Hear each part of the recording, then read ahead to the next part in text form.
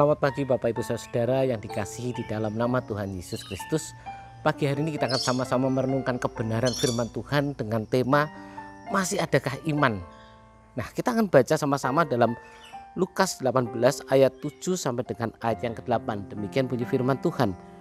Tidakkah Allah akan membenarkan orang-orang pilihannya yang siang malam berseru kepadanya? Dan adakah ia mengulur-ngulur waktu sebelum menolong mereka? Ayat yang ke-8, Aku berkata kepadamu, ia akan segera membenarkan mereka. Akan tetapi, jika anak manusia itu datang, adakah ia mendapati iman di bumi? Saudara-saudara, kita akan perhatikan ayat yang ke-8. Di ayat ini ada kata-kata begini.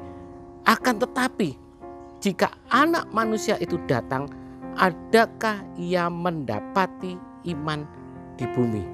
Bapak, Ibu, Saudara, ada satu pertanyaan. Kenapa anak manusia atau Yesus itu datang dalam konteks ayat ini? Jika kita melihat Bapak Ibu Saudara dari ayat yang sebelumnya dalam Lukas 18 ayat yang ketujuh, maka kita akan mengetahui bahwa kedatangan Yesus adalah untuk membenarkan, untuk membela, untuk menolong.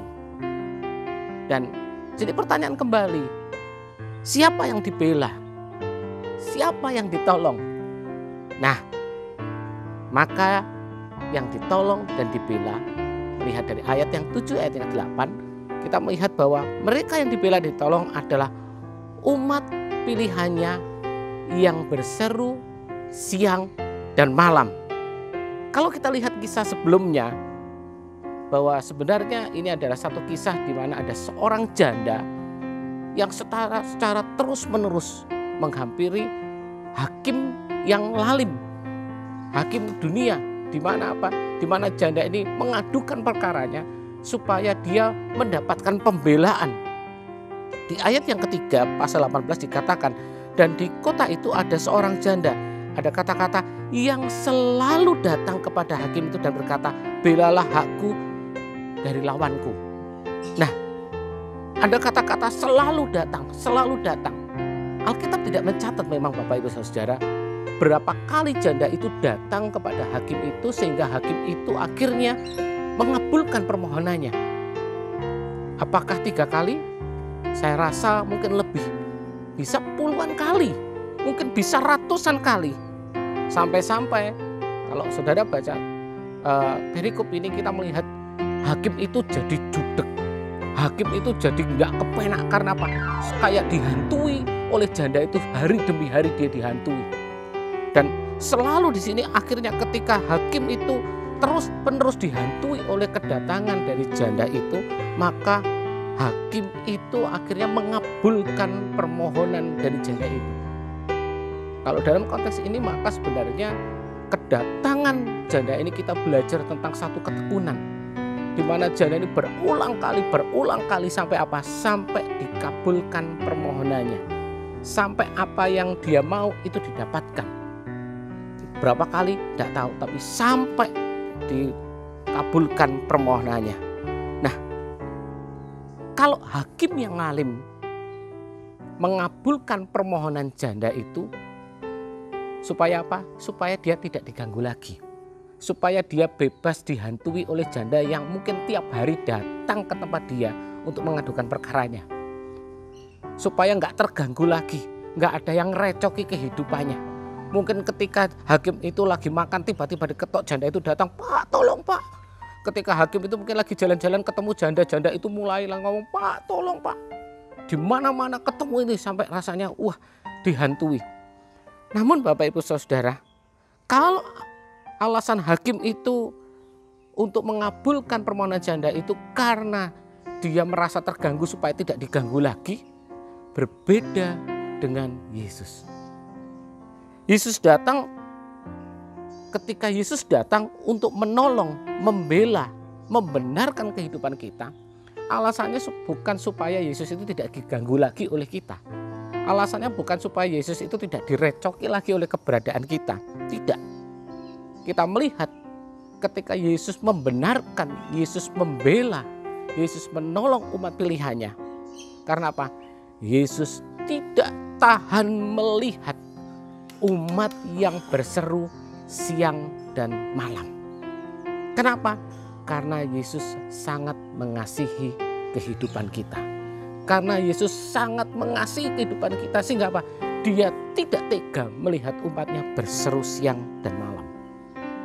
Menjadi satu permasalahan Bapak Ibu Saudara. Masalahnya begini.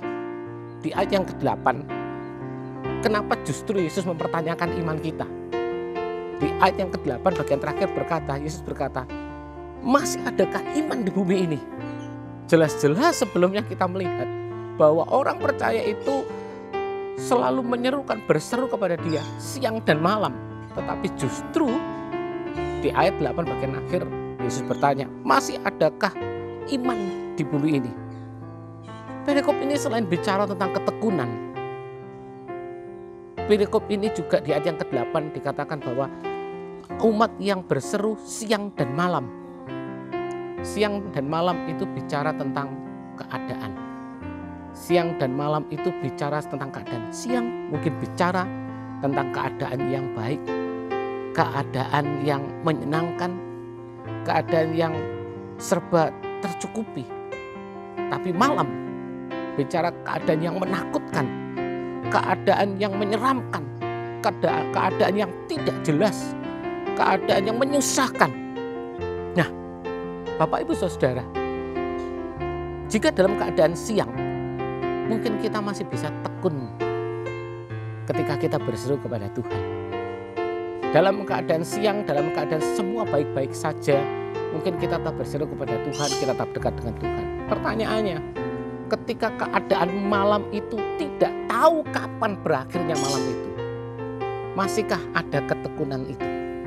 Masihkah kita memiliki ketekunan untuk kita tetap berseru kepada Tuhan? Kenapa? Jangan-jangan ketika keadaan malam itu terus-menerus datang dalam kehidupan kita dan kita terus berseru kepada Tuhan, tapi keadaannya tetap saja. Keadaannya tidak berubah. Keadaannya biasa-biasa saja. Mungkin bahkan bukan hanya tidak berupa atau tetap, tapi malah merosot, menurun.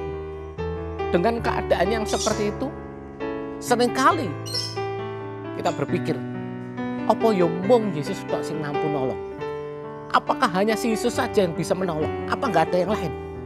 Lalu kita mulai mengalihkan pandangan kita kepada hal-hal lain di luar Yesus.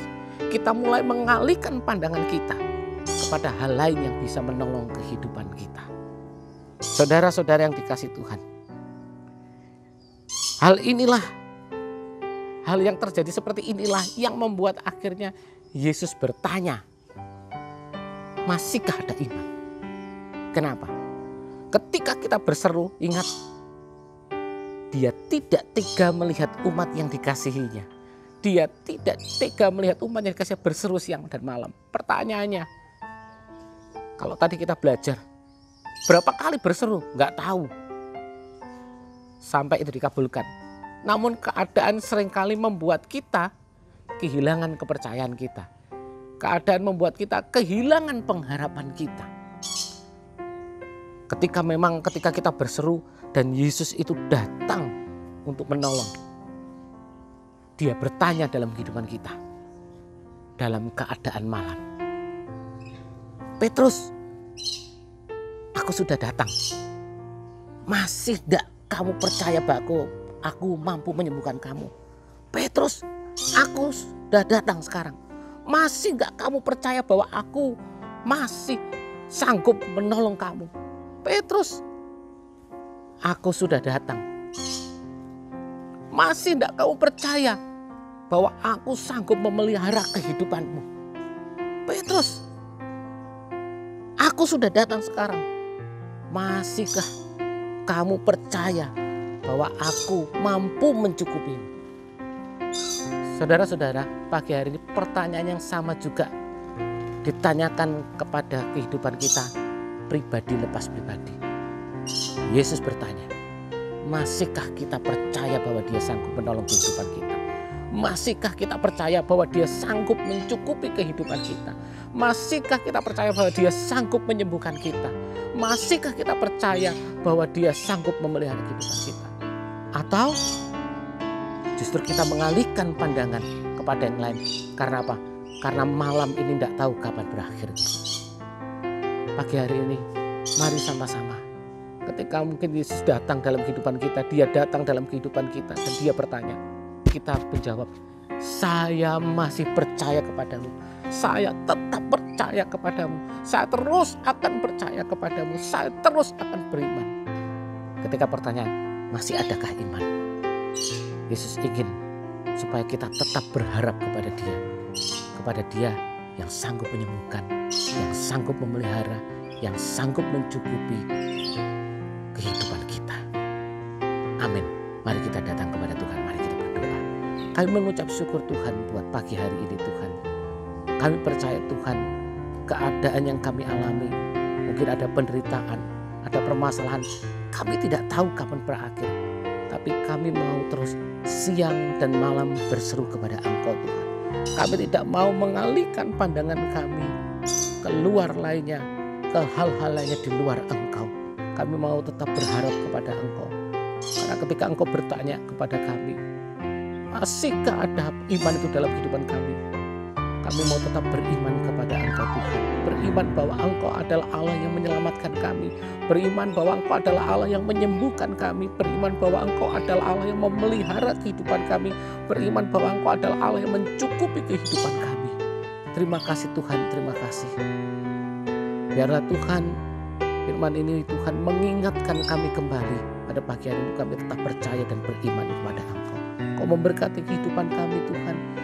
Aktivitas kami sepanjang hari ini kami serahkan kepada Engkau. Tuhan yang menolong aktivitas kami Tuhan. Kami menyerahkan bangsa ini ke dalam tangan Tuhan. Tuhan menolong, Tuhan memberkati Tuhan. Jika Tuhan saat-saat ini Tuhan pemerintah kami sedang menyiapkan vaksin Tuhan untuk mengatasi pandemi ini Tuhan. Engkau memberikan hikmat, Engkau mengurapi setiap vaksin yang ada Tuhan. Sehingga semua berjalan dengan baik untuk kemuliaan nama Tuhan. Kau memberkati setiap jemaat-jemaat Tuhan. Tetap memberikan kekuatan, tetap memberikan Tuhan kekuatan, keteguhan di dalam Engkau Tuhan. Dan merasakan bagaimana pertolongan Tuhan dinyatakan di dalam kehidupan mereka. Terima kasih Tuhan, terima kasih. Kami serahkan sepanjang hari ini, mulai dari saat ini Tuhan sampai malam nanti Tuhan ke dalam tangan Tuhan.